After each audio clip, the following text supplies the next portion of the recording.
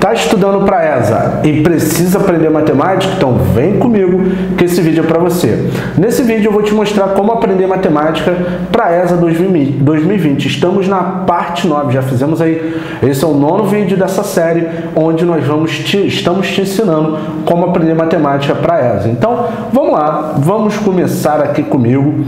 Vem comigo, ó. Seja uma função f do primeiro grau se f de menos 1 é igual a 3, f de 1 é igual a 1, então o valor de f de 3.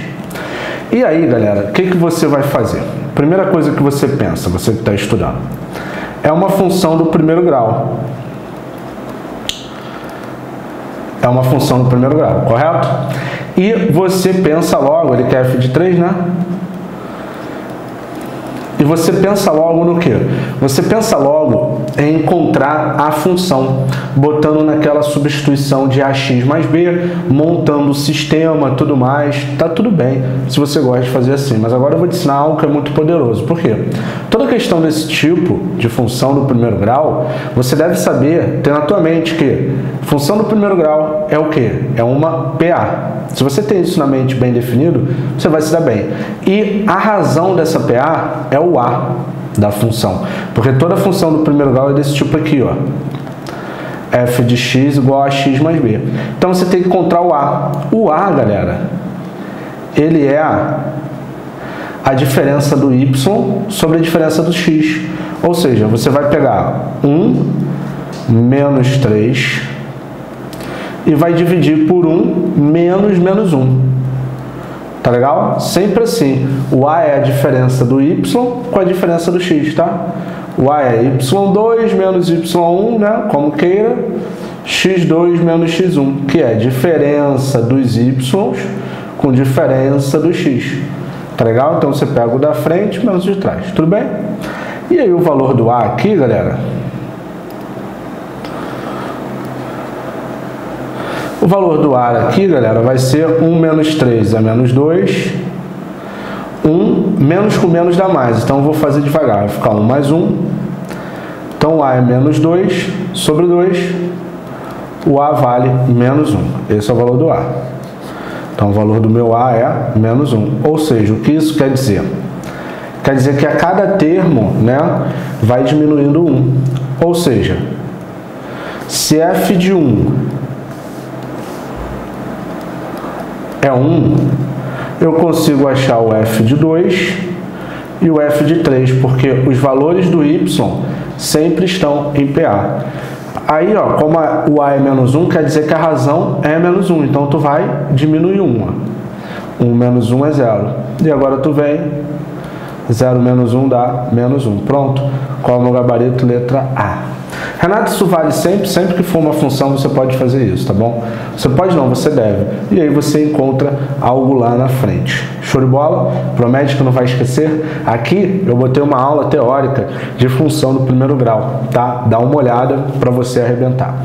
Show de bola? Beleza? Matei aí sem me estressar. Olha o tempo que tu ganhou e tempo é muito precioso.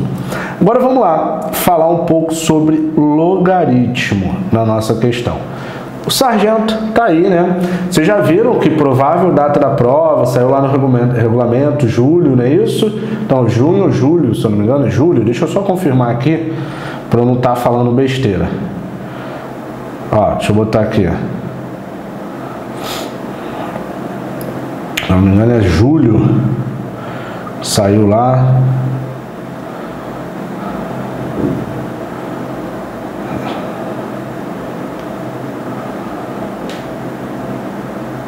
É julho, né? Todo mundo está dizendo aí, o julho. Tá o julho, né? Data da provável data da prova em julho. Então fica ligado, fica ligado que você vai arrumar. Já tá, acho que já até saiu a data da prova, né? Deixa eu ver aqui. Só para confirmar para não falar besteira, que eu tinha visto que seria em julho. Muito bom. Julho, julho. Prova da ESA, julho. Então, meu irmão, saiu lá no no documento que tem lá, né, do Exército. Então, Júlio, cai dentro, hein? Cai dentro, já passou da hora de começar, estamos em janeiro. Ah, mas Júlio vai dar tempo, meu irmão. Quem começar antes vai ser melhor. E tu vê aqui que no MPP a gente não parou, tá bom? O domínio da função, ele quer o domínio dessa função, galera. Domínio de uma função logarítmica, tá? Domínio de uma função logarítmica, você tem que respeitar a condição de existência do logaritmo. Qual é a condição de existência? Que esse cara aqui, o logaritmando, ele deve ser maior que zero e a base tem que ser maior do que zero e também diferente de 1. Essa é a condição de existência. Então, para esse domínio existir, o que, que deve acontecer? Primeira coisa, esse cara aqui, ó, 2x menos 1, ele deve ser maior do que zero. Primeira coisa, 2x menos 1 tem que ser maior do que zero. E esse cara aqui, ó, o x, está na base, deve ser maior do que zero e diferente de 1. Show? Essa é a condição de existência da bagaça. Show de bola? Agora vamos lá, vamos resolver, né? Vamos resolver essa equação aqui, ó. 1 está diminuindo, vai para lá somando. Daí x é maior do que meio, ok? x é maior que meio. Então, qual vai ser a solução aí? A solução vai ser x maior que meio e x diferente de 1. Por quê? Meio é 0,5, então já é maior do que zero, então tem que partir dela. Maior do que meio e também tem que ser diferente de 1. Qual o gabarito? Letra D. Marca aí o V da vitória e vai arrebentar, viu? É simples, basta você saber o que, galera? Basta você saber a definiçãozinha. Por isso a diferença de você estudar do método que vai fazer você chegar lá, como fez a Natália chegar. Olha só. Olá, preciso compartilhar com vocês algo que me surpreendeu muito. Eu nunca acertava nenhuma questão de raciocínio lógico ou matemática. Sempre fui totalmente de humanas. Só que depois que eu assisti as aulas de vocês, tudo ficou tão claro que eu acabei acertando 8 de 10 questões no último concurso que prestei. Estou tão feliz e tão grato que vocês nem imaginam.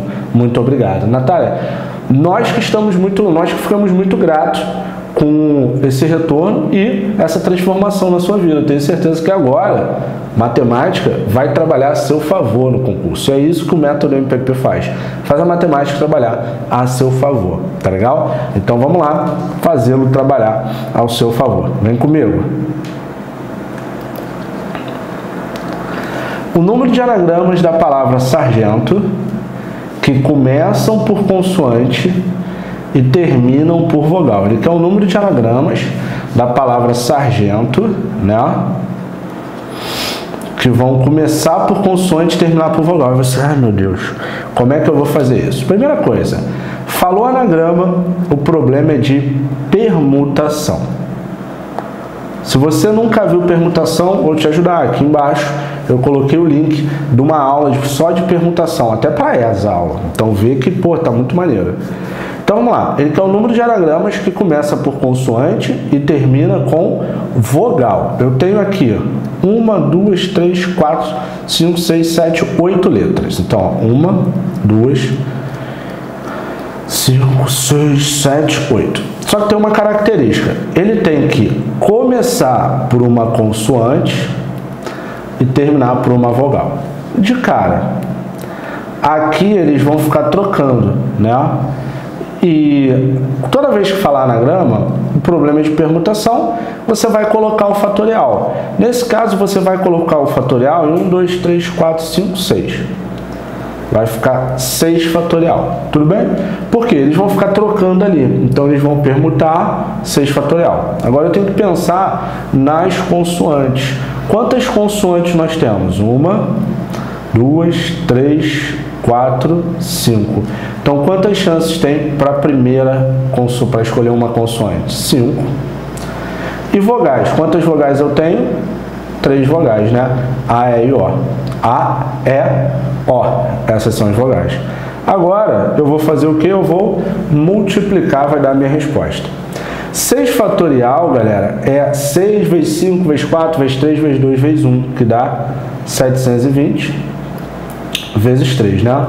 Aí eu vou fazer 720 vezes 5, dá 0, aqui dá 10, dá 33.600 e depois vou multiplicar por 3, dá 0, 0, 18, então isso dá 10.000 10.800. Show de bola? 10.800 com a meu gabarito letra C. Marca aí o V da vitória. Tranquilo? Então é isso. Permutação é assim que você vai fazer.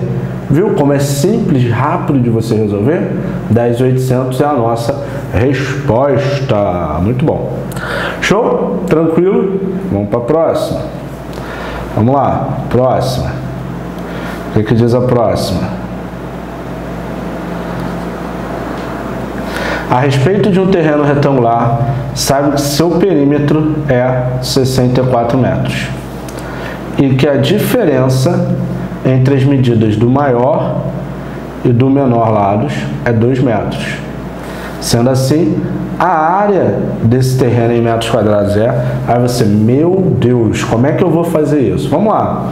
Primeira coisa, galera, vou fazer um esboço aqui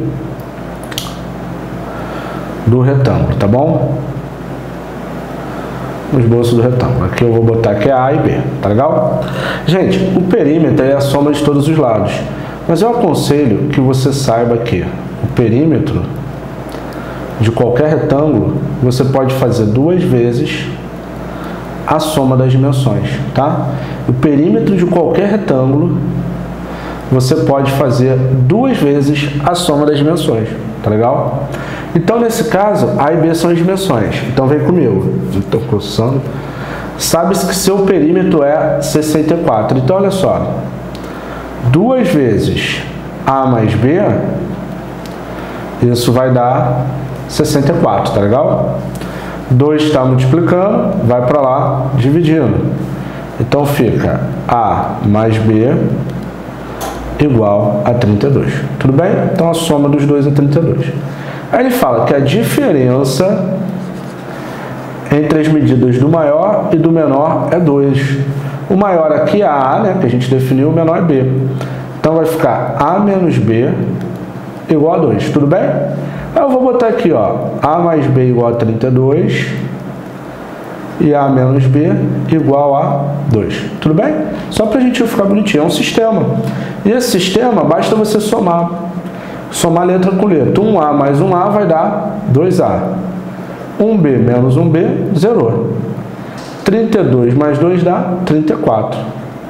Então, A é 34 divididos por 2, que dá 17. Pronto. Esse é o valor do primeiro. Agora que eu tenho esse, fica mais fácil para encontrar o outro, concorda? Posso substituir em qualquer caso. Vou substituir aqui, ó. Eu tenho que A mais B vale 32. Quanto vale o A? É 17? Então vai ficar 17. Perdão, 17 mais B igual a 32. 17 está somando, vai para lá diminuindo. Então isso fica 32 menos 17. Ó. 32 menos 17, vamos fazer essa conta aqui. Dá 2, que vai dar 5, vai dar 15, né? Então o valor do B é 15. Deixa eu ver aqui no retorno, tá legal? Se eu estivesse cortando alguma coisa, não. 15. Agora, para achar a área disso, como é que é a área do retângulo? É base vezes altura. Então, eu vou fazer 17 vezes 15. 17 vezes 15, ó, olha aqui, ó, o quebra-quebra. 17 vezes 15, você pode fazer 17 vezes 10 mais 17 vezes 5, né? 17 vezes 10 é 170 17 vezes 5 é a metade, que é 85. Né? 85. E aí 170 mais 85 vai dar 5. 8 mais 7 é 5, vai 1, 255. Pronto. Qual é o meu gabarito? O meu gabarito. Letra E. Morreu. Esse é o meu gabarito, letra E. Show de bola? 255 é a minha resposta. Show, fechou. Tranquilo? Maravilha aí? Promete que não vai esquecer? Tá aí minha respostinha. Não dá mole, não deixa o inimigo agir, porque ele tá doido para agir aí em cima de tudo, tá legal? Show, beleza? E aqui estão minhas redes sociais. Ah, já acabou, gente. Já te dei mais duas aulas aí para assistir e vou te fazer mais um convite. Segue a gente que todo dia tem vídeo novo lá, então não perca. As redes sociais do Marcão estão aqui também e aí do Matemática para passar também. Se você tem alguma questão, toda segunda, agora toda segunda, 8 horas, nós estamos resolvendo as questões. Caramba, todas? Não. São as quatro primeiras. O que, que você vai fazer? Você vai enviar a questão lá no, no 8 horas, a gente vai botar no Stories. A caixa, você manda o início e depois manda por direct. As quatro primeiras a gente vai resolver, tá? E eu tenho um convite. Aqui embaixo tem o link do nosso curso da ESA. Já passou da hora de você começar a se preparar. Clica aí, assiste uma aula do próprio curso e vê quais são os quatro bônus que nós preparamos para vocês para a ESA. Tá legal? E agora a nossa mensagem. Não tente ser uma pessoa de sucesso. Em vez disso, seja uma pessoa de valor. Então para de buscar, ah, eu quero ser um cara de sucesso, eu quero isso. Cara, seja uma pessoa de valor que o sucesso vem.